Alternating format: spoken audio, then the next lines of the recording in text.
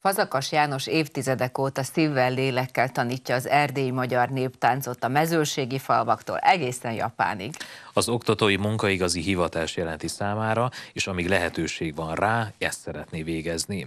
Amit otthonról hozott és hozzátanult, azt szeretné megtanítani vagy visszatanítani, nyilatkozta egy korábbi interjúban. A néptánc hagyományok továbbadását szolgáló több évtizedes oktatói és közművelődési munkássága elismeréseképpen az idén az MK Kalló Zoltán díjban részesítette. Megtisztelő számunkra, hogy vendégünk lehet a stúdióban, Fazagos János, akit sok szeretettel köszöntünk. Szép jó napot kíván! Jó napot! És gratulálunk természetesen a díjhoz. Hát nem kérdés, hogy több évtizede szerves része az életének a tánc, a néptánc, a hagyományok. Honnan ered ez a szeretet, ez a műfaj iránt, a tánc, a néphagyomány iránt? Szerintem otthonról. Tudni kell, hogy, hogy amikor én gyerekeskedtem, a, a szórakozás nagy része arról szólt, hogy hétvégeken táncok voltak, és, és és én, én meg nagyon szerettem, meg a, meg a szomszédfalvakba is eljártam, tehát szerintem minden, otthonról hoztam. És kitől sajátítottál a néptáncot? Kik voltak az ön nagymesterei? Hát, szóval bekerültem vásárhelyre iskolában, akkor a népművészeti iskolában uh, is beiratkoztam, ott Szabó Évától tanultam, Később Lőrinc Lajos tanítvány lettem, és, és akkor a szakmának nagy részét tőle, tőle tanultam. De később ugye a hivatásosként, meg azelőtt Sepszentgyörgyön is Jánosi Józseffel is dolgoztam, tehát tőle is sokat tanultam. Egy szóval mindenkitől. Lőrinc Lajosnak volt egy, egy, egy mondása, hogy mindenkitől lehet tanulni, fiam. Ha más nem, hogy ne csináljad? És igaza van most is. Ez így mondom. van. és ugye bár táncolt a Marosvásárhelyi Forrás Néptánc Együttesnél, a Táncházban, a Sepsiszentgyörgyi Vadrózsák Egyesületnél, és Együttes, ezer, együttes. Együttesnél, igen, 1990-től pedig a Marosvásárhelyi Marosművész Együttesnél, egészen 2011-ig a, a nyugdíjazásáig. Milyenek voltak ezek a táncos évek? amikor konkrétan táncolt, akkor is még oktatott, korán belekezdett az oktatásba, de táncosként mi, hogyan emlékszik vissza ezekre az évekre? Hát az, az egy szép, uh, szép jó pár év volt. Az elején, tehát belecseppentünk 90-es évek után a Maros Művészegyüttes régi, régi tagjainak nagy része egyből ment nyugdíjba. Azelőtt nem engedték őket, ugye sokáig, mint tolták és maradt három pár a, a régi társulatból, akkor viszont Lőrinc Lajos, akitől én szakmát tanultam, az volt ott a, a koreográfus, és, és mondta, hogy Fazikám, Maroshoz kell jönni, mert itt most az együttes nem hallhat meg, tovább kell menjen, és ugye jön egy csomó fiatal, de azt még meg kell tanítani táncolni, úgyhogy nagyon gondoltam egy pár évig, aztán hosszú, hosszú idő lett belőle. Már a táncos karrierje előtt tanított néptáncot. Hogyan csöppent bele az oktatásba? Vagy esetleg ez egy tudatos volt? Ja, nem, nem, nem, nem volt tudatos. Az úgy volt, hogy még vására iskolás koromban, ugye, amikor a népművészeti iskolánál tanultam, akkor az építészeti iskolában másnap már tanítottam, amit amit én még nemrég tanultam, de úgy, úgy szóval úgy, úgy egyszerre jött a kettő. Mert amúgy táncolni, vagy táncot tanítani, az, az két szakma. Mondjuk nem árt, ha aki a táncot oktat, az tud egy kicsit táncolni, de, de az, hogy jó táncos vagy, az nem elég ebbe a szakmába. Uh-huh. Igen, az biztos, hogy egy dolog, hogy jól csinálni valamit, és a másik az, hogy átadni ezt a tudást igen, valakinek. Igen, igen, igen, igen. Ez, ez, ez, ez ma Amúgy visszaemlékszem, amikor kicsi voltam, én is a, a Napsugár csoportnak a tagja voltam, és Füzesi Albertel közösen vezettek be engem a, a néptánc világába. Uh, és és így, úgy, úgy visszapörgetem az időt, nagyon sok mindent köszönhetek amúgy azoknak az éveknek, mert, mert nem csak táncot tanultam, hanem annál többet. És kérdezem, hogy, hogy önnek mi a prioritása? Tehát mire tanít meg a néptánc a lépéseken túl? Mert nem csak ugye hagyományokról beszélhetünk itt, hanem ennél többről. Mi az a plusz, amit ad a néptáncoktatás? Szóval minden. Hát, mi azt, azt tanítsuk, ami, ami, ami, ami, ami úgymond régebb volt. Régebb volt egy, egy hagyományőrző falu, ami már szép lassan nincs, ugye jelen pillanatban ugye ez meg egy városi közeg volt, ahol a Napsugár táncegyüttesnél tanultál, de azok, azok valami falusi gyökerekkel rendelkezhettek, hogyha a gyereket táncolni küldték. Na most ott ugye, ha, ha veszem, hogy meg kell izzadni, akkor majdnem sport, uh-huh. Népművészetet tanítunk, tehát néptáncot tanítunk, de ének, zene, az, tehát ez, ez, ez, ez, ez ugye egy egység, közösségi, közösségi és közösségi életérzést. Az, az, az szép lassan nagyon hiányzik minden. Hát igen, az biztos, hogy megváltozott azóta. Hát az utóbbi időben. Igen, igen. De nem csak Erdélyben és Európában, hanem távol-keleten is táncot oktat. Minden évben 93 óta Japánban oktatja az erdélyi magyar néptáncot, méghozzá japán nyelven, és többször is meghívták Tajvánba és Hongkongba. Úgyhogy elmondhatjuk, hogy ön világszerte ismert. Na, Hogyan én... jut el valaki itthonról Japánba úgy, hogy magyar néptáncot oktat? maradjunk abban, hogy távol kelet, jó? Nem az egész, az, az, túl sok lenne. Az, a, az megint a hivatásos életemhez kötődik, ugyanis 92-ben egy több mint öt hetes turnét csináltunk Japánba.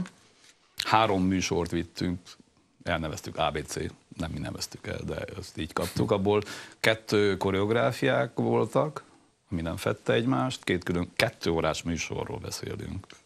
Mostani műsorokon egy órák, meg egy-egy kevesek. És volt egy harmadik, amikor uh, színpadon olyan hagyományos uh, táncház, vagy báli hangulatot, ilyen szabad tánc. Tehát három műsort vittünk. Sok előadás volt, már nem tudom mennyi, de öt napod napi kettő is tehát azért kellett bírni. És kiderült, hogy vannak olyan programok, amikor, amikor tanítani is kell. És én a 90-es évek bekaptam az útlevelem, akkor úgy megbeszéltem magam, hogy na, most, most már mehet külföldre, de most akkor kommunikációval is gondva.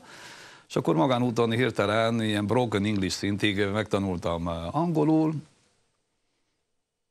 és és akkor azt mondta, hogy na, hát, hazikám, te tudsz angolul, tudsz tanítani, akkor tessék, bedobtak a mélyvízbe, idegen közegbe, hát azok, igen, érdekes volt. És nem csináltam nagyon rosszul, mert egy ilyen tanítás után megkérdezték, hogy nem -e mennék vissza, ha meghívnak. Erre én úgy székelyesen azt mondanám, milyen meghívtok, akkor japánul tanítok. Mi az.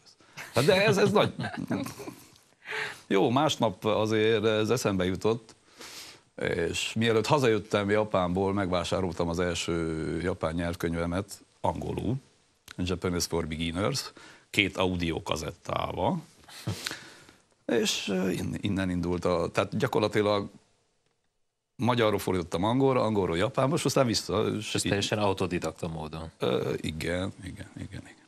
Uha. De aztán az ismerőseim után, amikor tényleg meghívtak, mert, mert nem írtunk papírt, szerződést, csak így beszélgettünk, jó. És uh, mikor aztán tényleg meghívtak, akkor minden évben vásároltam a többi könyvek, többi könyveket, hát uh, igen, le is kellett ülni melléjük, nem volt egyszerű. És milyen szinten sikerült elsajátítani? Így, így. Írás, olvasásról nem beszéltem, hanem a mindennapi uh-huh. beszédből, onnan is csak azt, hogy udvarias vagyok, de egy szintről beszélünk, nem le, fel, alárendet, szóval uh-huh.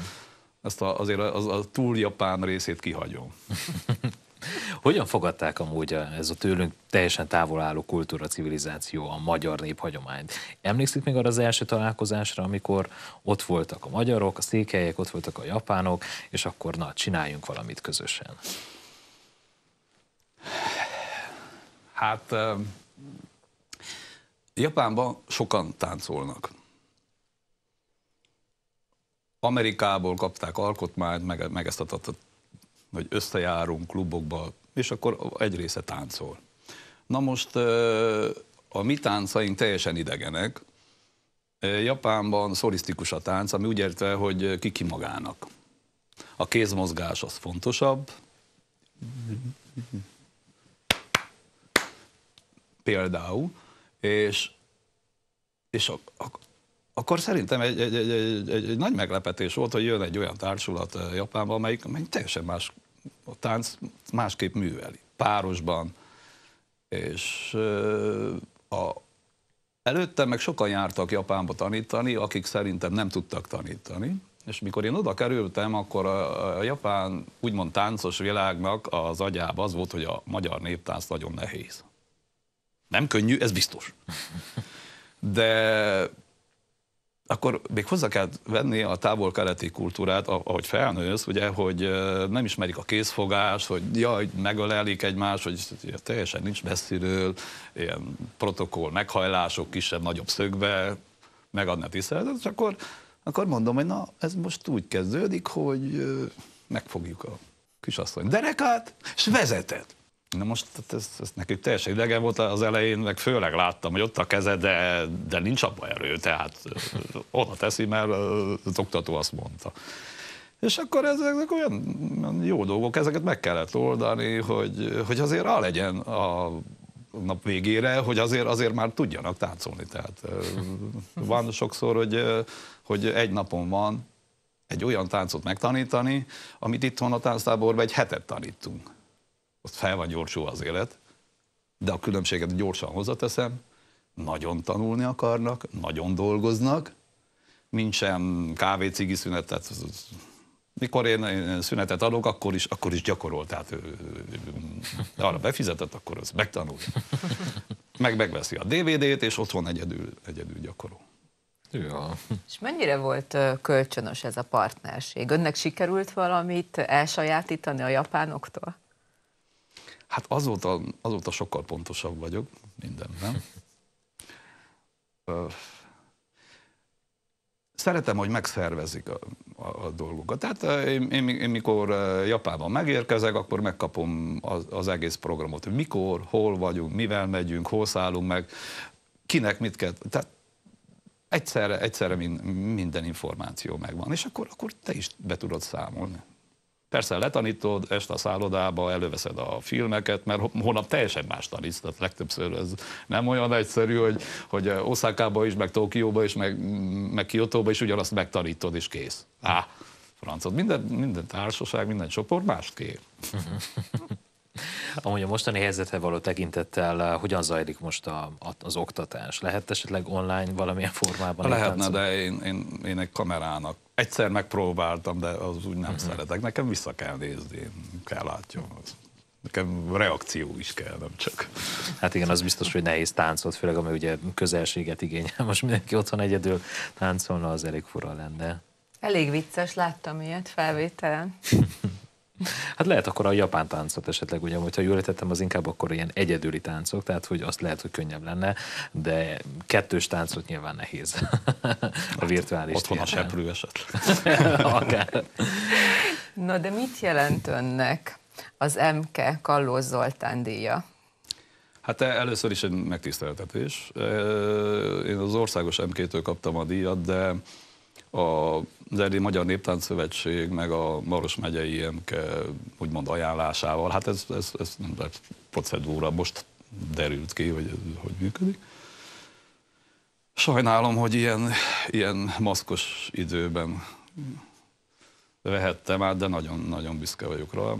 A tavaly változott meg az MK-nek a, az ilyen táncos meg folkloristáknak adott díj, Régebb Székelyudvarhelyi táncmester Kacsó András díjnak hívták, de én, én nagyon örülök, hogy végül is Karlos Zoltán díjat kaptam, és büszke tulajdonosa vagyok. Gratulálunk még egyszer ehhez. Szépen. Tudjuk, hogy mit hoz esetleg a jövő? Milyen tervek elé néz? Milyen terveket dédelget? Ugyanígy tovább szeretnék tanítani, csak a lehetőséget várom. Igen, hát reméljük, hogy minél hamarabb enyhül ez a helyzet, valamikor csak eljön ez a pillanat, de addig is. Még hozzatenném zárjelve, amíg hívnak. Mert aztán jönnek a fiatalok, hál' Istennek, és akkor majd betöltik az űrt, és akkor az ők felelősségük lesz tovább. Hát kitartást kívánok mindenképp. További jó munkát, gratulálunk még egyszer a díjhoz, és, és várjuk még vissza ide önt. Köszönjük, hogy itt volt. Köszönjük szépen.